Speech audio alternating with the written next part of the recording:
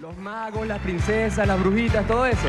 Sí. Claro que sí, por eso están aquí ya Antonella, Rebeca, Georgina, Jorgelis y el gran ballet de Ruge Manía en la increíble producción musical Mago de Oz. ¡Adelante!